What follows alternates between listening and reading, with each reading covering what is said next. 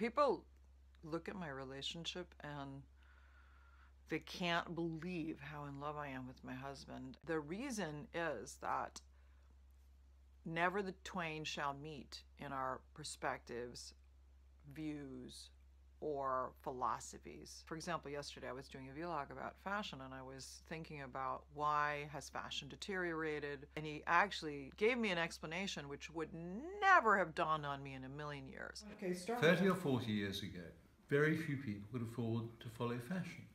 Um, they did have the money and they had high standards and therefore they expected and demanded high standards. Therefore the people who led in fashion had high standards, the people who provided the fashion had high standards. The people who bought fashion had high standards. But times have changed. The masses now have the money. And with the masses come a lessening, a lowering of standards. The people that now speak about fashion appeal to the masses. So the standards have gone down.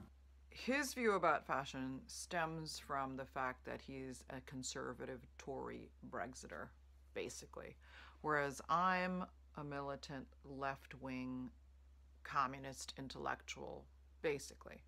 When I really thought about it, though, I realized that our viewpoints actually dovetail and were equally valid, even if we were coming at the question from completely different places, contradictory poles.